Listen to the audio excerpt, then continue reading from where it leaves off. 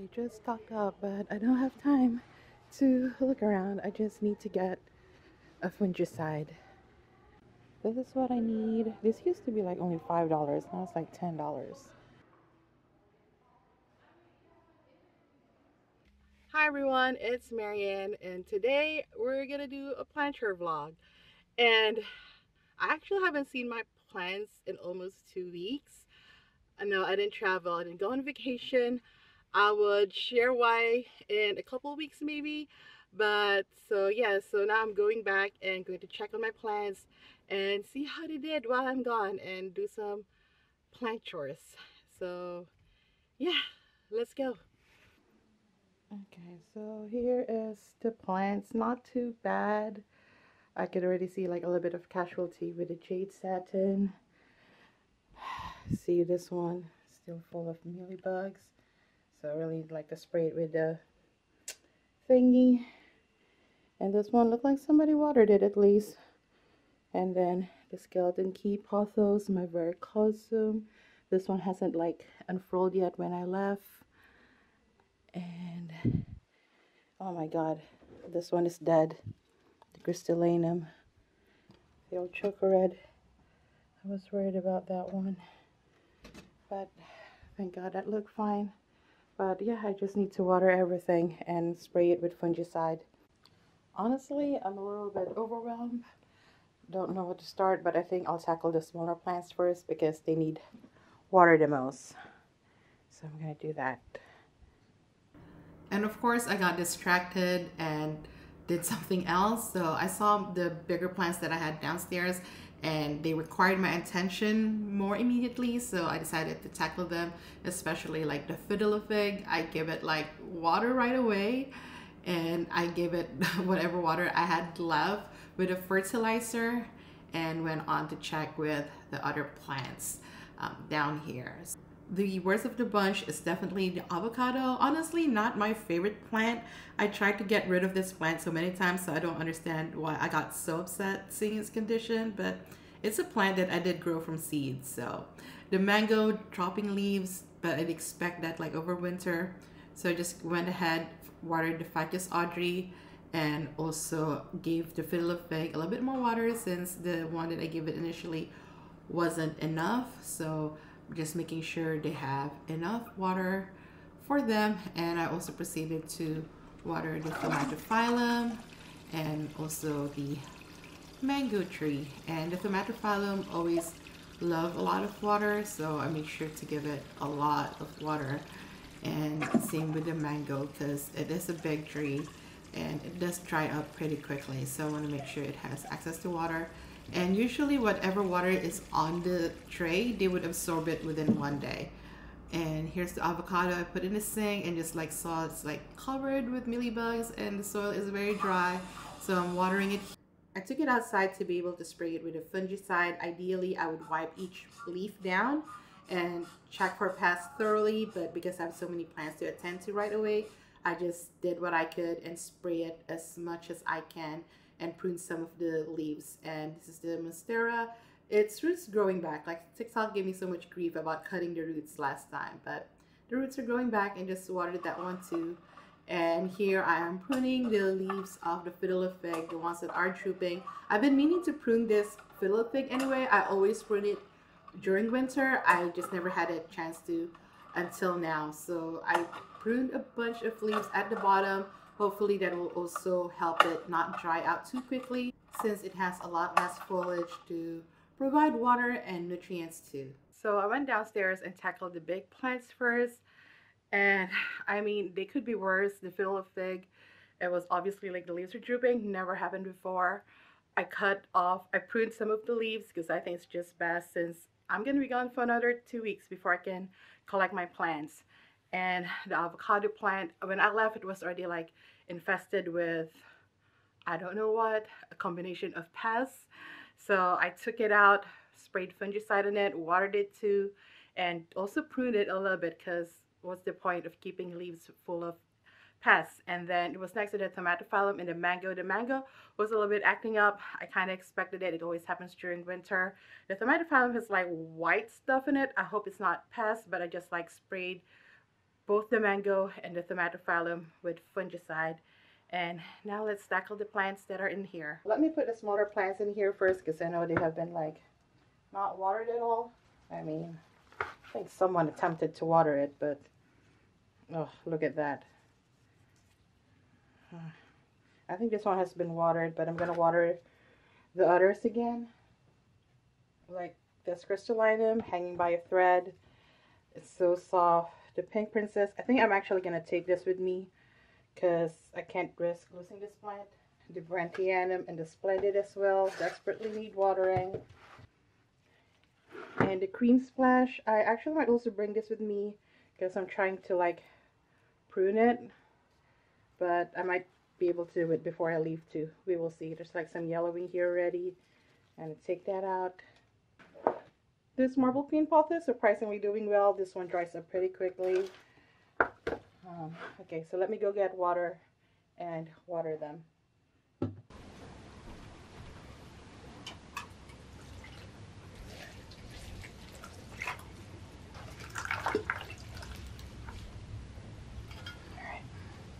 Okay, so next I'm tackling the ones that are in the mini greenhouse. They seem fine, which is a good thing about the greenhouse. You could leave them for a couple of weeks and they'll be fine. But I'm going to water them because I don't know when I'm going to be able to water them again next. So, yeah. And you'll be like, Marianne, what is going on? Um, well, just rest assured that I'm okay or will be. So that's a good thing about it. But I had hell for two weeks. Okay. All right, let's water this too.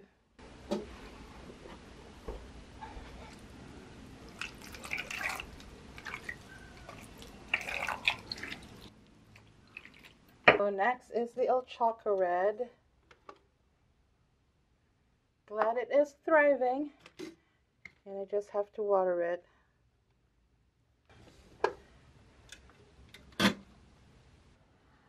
I'm trying to work fast, but also I want to make sure I get everyone and everything. My syngonium, it definitely needs support. So I got this one.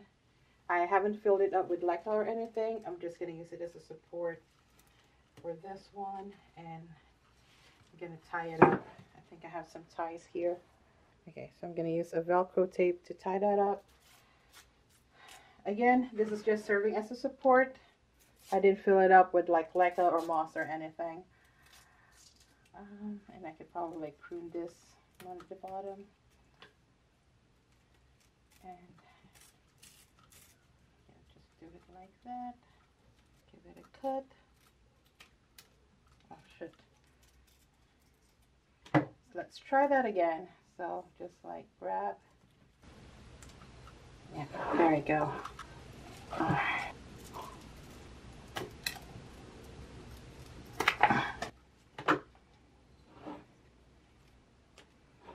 Accidentally cut a couple of leaves, but it looks fine over there. And I'm to take this one down. We're going to tackle the ones down here that needs to be in the bathtub and also the ones that I need to like treat with a fungicide. So these are the plants that needs to be treated with fungicide along with that Epipremnum The chia plants is okay. It's actually been recently watered. And this one's just need to be watered. So I'm going to do that. And then I'm going to tackle all the hanging plants. And I should be done. So only these four need like just watering. The rest, actually I'm going to grab the hanging plants too that need watering so I could just do it all together. This Monstera Standleyana, I've been meaning to like do something about it because it has a little bit of root rot, not like anything crazy. And luckily the verrucosum is okay. It's not infected with like whatever past is going on among my plants. So I think you're good, but I'm gonna go grab the hanging plants so I could just like water them all together.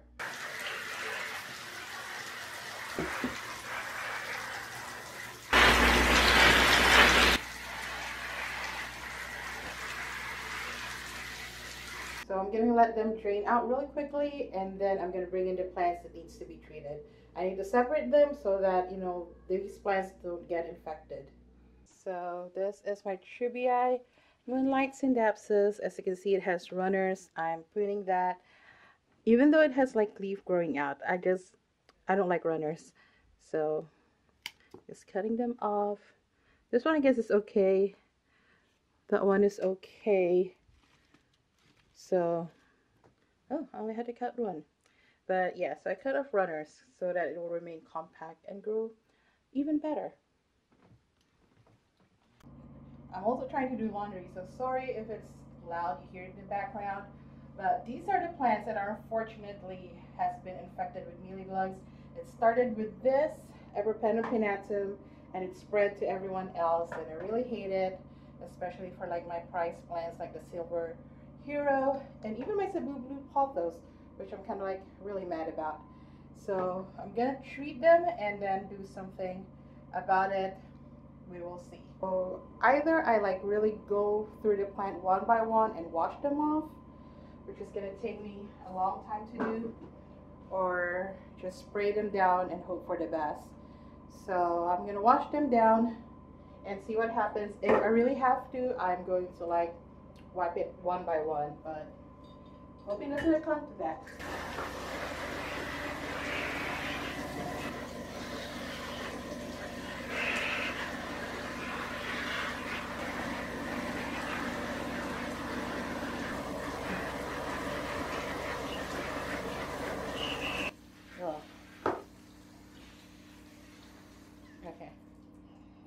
So the silver splash is not that bad, but I do need to make sure that it doesn't spread further. And it does have a couple of leaves that needs pruning like this one. Overall, I think it's good. I think the wash did it, but I'm still gonna spray it with fungicide. But I'm gonna put it aside so that anything else that I wash off don't fall in it. Same goes for the golden pothos. I think it's relatively okay. It just needs kind of like the silver splash, some maintenance and some like preventive measures because I do see a little bit, but not a lot.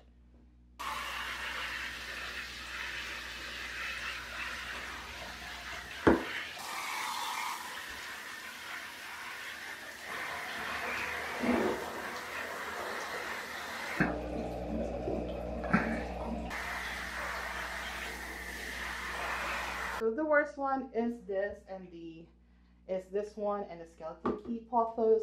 The rest is not too bad, thank God. Um, but definitely gonna take some preventive measures.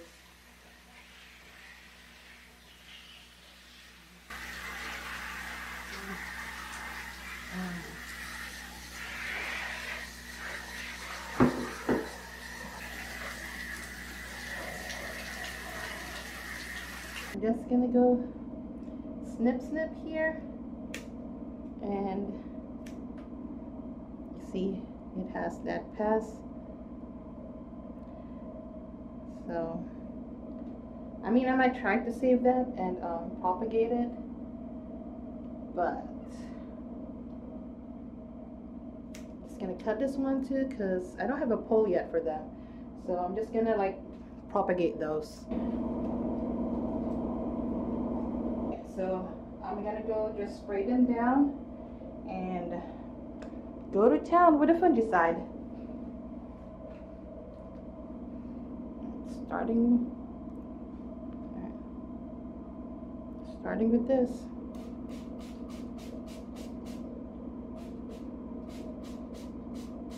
Let's see how quickly that acts. Kind of like pretty instant, like it went from white to brown pretty quick.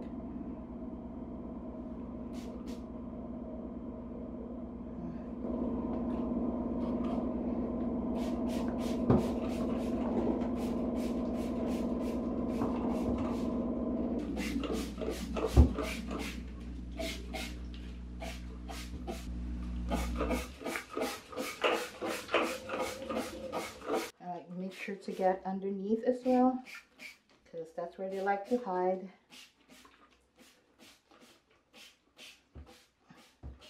I mean, for the longest time, I tried neem oil, and neem oil just wouldn't work for it. So, okay, so I'm just gonna give it time to work. I'm not gonna like wash it one more time before I put it back out because they might get leaf burn or get more cosmetic damage if I just put them back out right now. But, okay.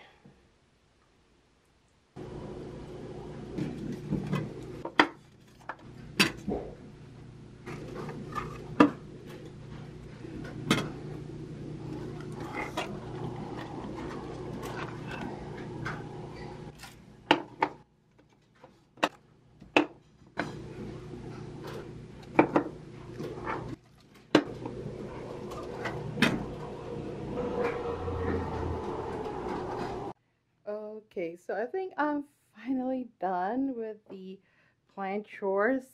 I've watered everything and there's a little bit of casualties, but it's okay. So the Standleyana is now in water. Hopefully that goes well. And I didn't water the Thicon because I think somebody did water it and I don't want to overwater it. So I just got to tell them like they know need to water my plants because I think they might overwater it and like the chia plants they did water. So this one I treated with a fungicide hopefully it works. And I was thinking of bringing the Kerrii with me. I'll see if not I'll just pick it up on Friday because I kind of want to do a Valentine's Day video with it. But I'm just gonna bring this stuff now for the meantime. So the silver hero I might do a propagation shorts on it and then I'm gonna put it up on Facebook Marketplace for sale uh, I got the string of hearts, the Hoya Kerrii Alba Marginata, like for a Valentine's Day YouTube shorts. And then my Pink Princess Philodendron, just because this one needs constantly watering and I don't want it to get dry. So I'm just going to bring it with me. And in this section, like in this table, I just have the plants that I treated with fungicide just to separate them with the rest of my plants. This three weren't really that bad. So the Scindapsus Silver Hero, the Silver the Silver Lady, and the Silver Ant. They weren't bad, but I did treat them with a fungicide anyways, as well with the Golden Pothos and the Silver Splash. Not the this one. I just put it here to do a quick video because I got this from YouTube Shorts. I came and I saw a package came for me and they sent this. It's really cute. The light is more red in person than it's coming off in camera. But I think just because it's still daylight. And it's a blue blue pothos too. So like every problem plant, I'm putting it here just so they're not going to mix with my other plants. This one I still put under the table. Actually, I might put it under here. Actually, it's fine here. I am I turned off the grow light just so it doesn't dry out too quickly. It gets light from the sun anyways. And over here and some of the other plants I put over here. I was thinking of like bringing a plant back with me too so I could do videos on it. But I don't think I need to. I think it's okay. So I'm just to leave them here. I'll be back next week to check on them. And next week shouldn't be like a longer plant care than this. So we will see. Hi everyone, so it's the next day and sorry if it's echoey, I'm filming inside a bathroom. It's such a gloomy day today that there's no good lighting anywhere else and the best lighting I can find is in the bathroom. But yeah, overall my plants did well yesterday when I go to check on them, even though I didn't see them for like almost two weeks. I think most of them did pretty good. There was some like I got a little bit frustrated with because they were infested with houseplant pests, but like, you know, looking back, sleeping on it, it wasn't really that bad. And hopefully the fungicide works on them. I've used that before on my plants that have really stubborn pest issues, especially with mealybug, because sometimes neem oil doesn't really cut it anymore, and I've been trying to use just neem oil and soap to try to treat the pest issue, but it has been like a month, especially for the Epipremnum pinnatum. So it's something that I probably should have used earlier so it didn't spread to more of my plants. But even the ones that it spread to, the infestation is not that bad. The one that's really serious is the Epipremnum pinnatum and the skeleton key pothos, which I plan to do something about them very soon as well because if they get get keep infested, I might just get rid of those plants or just, again, do something about it. And I'm going to check back on them again in a week or so. But yeah, so I will share definitely what's going on in a couple more vlogs. But I, no matter what, I'm not the type of person to like overshare. But at the same time, there are going to be changes in the channel that you're going to see. So kind of like want to share that a little bit in upcoming vlogs. But I'm okay generally, so don't worry about me. Um, but thank you to all the support, and I definitely need your support more than ever, and definitely am counting to your support this year, and I would really, really appreciate it. But yeah, thank you so much for watching. If you like this video, please give me a thumbs up. If you're new here, please do subscribe. I come up with videos every week, and if you haven't yet, check out these videos up here until my next one. But until then, I see you. I appreciate you. Take care of yourself and each other, and have a Plantiful day. Bye.